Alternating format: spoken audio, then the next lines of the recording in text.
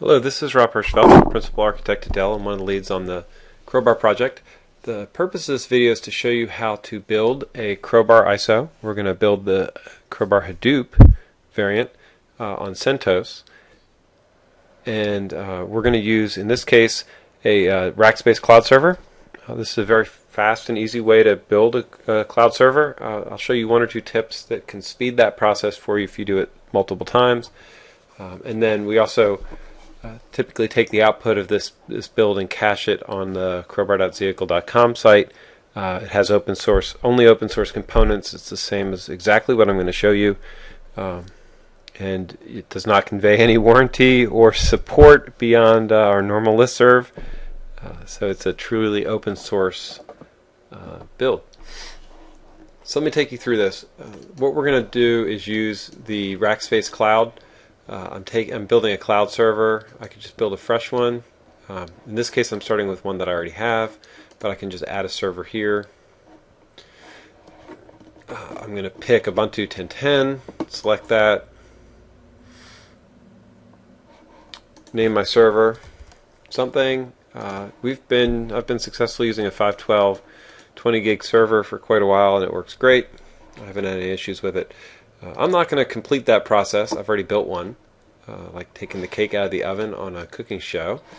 And that server I'm already logged into is right here.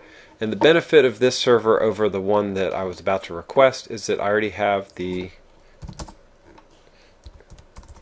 I already have the um, sledgehammer uh, pieces, which is a prereq, and I have both the CentOS and the Ubuntu ISOs checked out. So very convenient to have those in um, already cached, so I don't have to download them. They're four gigs, um, so anytime I can save by not having to re-download is good time.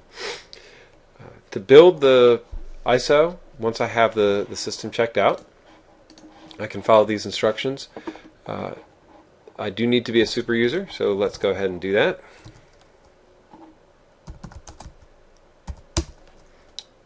Excellent. Now I'm in as a super user, and I want to uh, apt-get and update my image. Uh, this image probably already has most of this since it's one of the ones I use to try and speed things up. Um, I added RPM into this list. RPM is one of the added requirements if you are going to be building um, the Hadoop CentOS version. Okay, so any any RHEL or CentOS version is going to require the RPM uh, library from apt-get.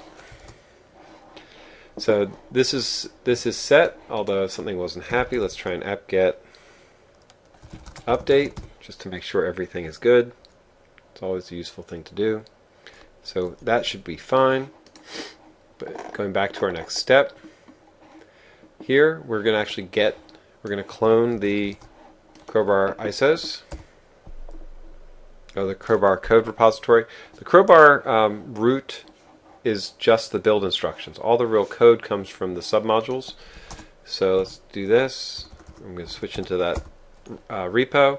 And so I need to get the submodules.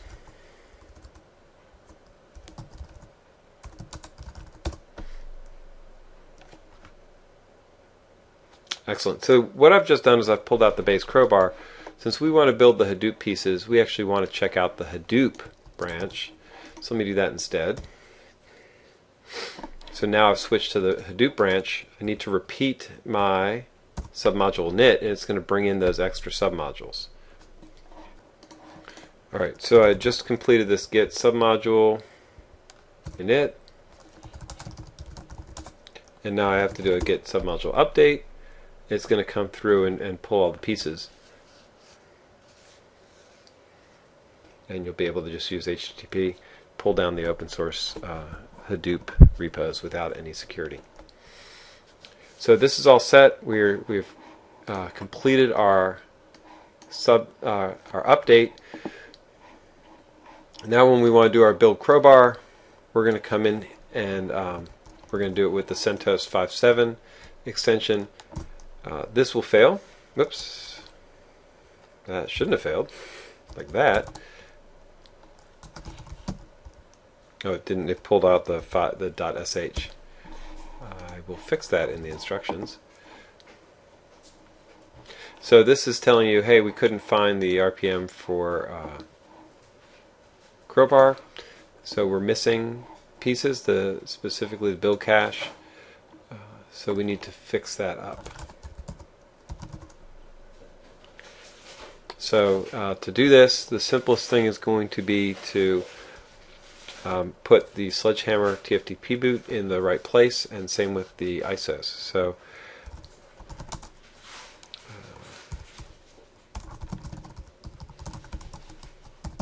uh, So I've created the build cache.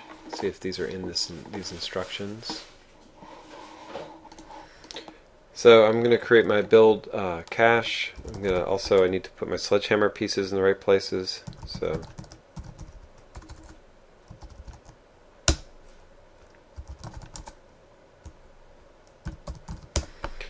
Good, and then I'm going to move uh, Sledgehammer to that directory. There is, and I have an event, there's an advanced build video that shows how you can actually set uh, these locations so you don't have to move them around. Uh, if you do a lot of builds, I recommend that.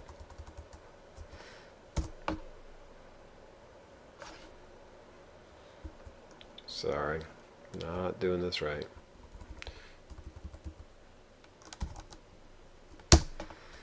Okay, so that's moved over. I still have to move the ISO, but what I'm going to do is I'm going to let the build tell me that. So you can see that the build, um, all right.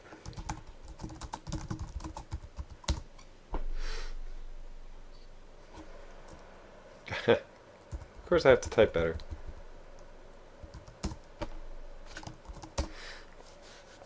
So one of the things that uh, Victor specifically has worked very hard with the build is to make it um, give you a lot of feedback when things are going wrong. Um, so in this case, I didn't get all my prerequisites in the build, and it's going to tell me about that.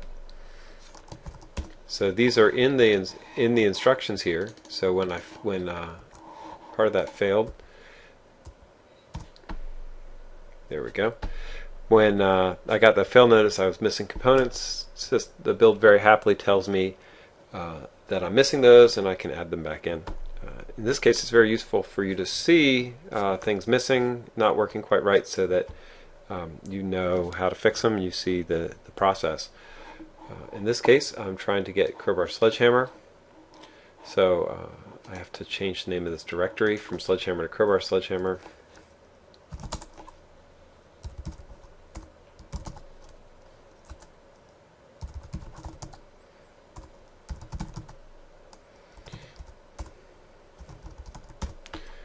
Let's see if that addresses this one.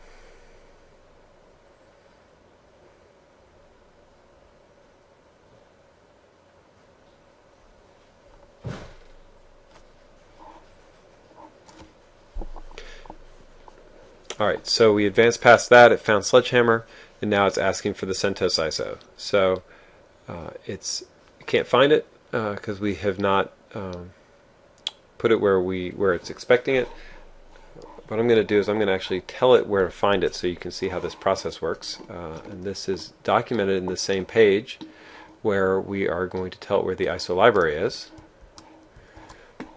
So what we can do is we can do an export the ISO library and we're going to tell it to look in the home directory. So in just root. There we go. So now, next time I do the build, it should find the ISO that it's looking for. So we've worked very hard to make this build process flexible. Uh, we're constantly tuning it and improving it uh, and trying to, to create um, a better experience, more robust experience. Um, we welcome feedback, uh, requests, and uh, changes. It's part of the Crowbar code repository. As a matter of fact, it's the primary thing in the code repository, uh, the crowbar base. All right, this is going to take a little while, so I'm going to pause and come back to you when it has completed. So after a long time, uh, the uh, ISO is built. Uh, if I do a ls I manage to hold down the shift key, you'll see this is the ISO that we built. Uh, actually, I'm going to upload this ISO. It's going to become the Hadoop uh, open source release ISO. So you've gotten to watch it get built. Uh, our very first open source Hadoop artifact. Um, it's bringing a tear to my eye. So uh, the thing to note in this is that it took a very long time because I had to bring in all the build dependencies.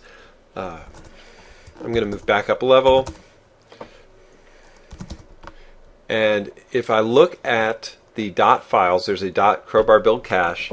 This dot crowbar build cache is is gold uh, for you from savings time perspective. This is where it caches all of the bits and pieces that it pulls down on that first build that take forever to accumulate and will cost you some bandwidth charges.